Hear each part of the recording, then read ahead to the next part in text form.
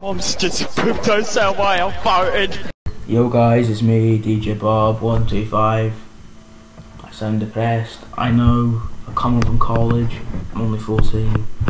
I thought you didn't want to know that, but Liam's here. Say boo! Boo! My fucking throat. But I don't know if this is going to be definite.